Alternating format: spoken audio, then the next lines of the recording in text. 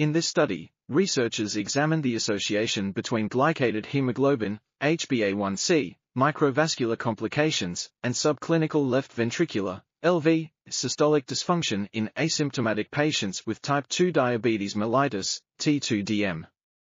The results indicated that HbA1c levels were significantly correlated with the presence of microvascular complications, such as diabetic retinopathy and urinary albumin creatinine ratio, UACR as well as with increased systolic blood pressure, fasting glucose, heart rate, and triglycerides.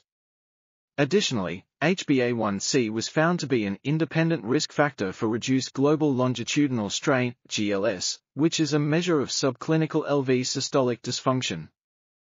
Furthermore, the receiver operating characteristic curve demonstrated that HbA1c had a high predictive value for the progression of myocardial damage.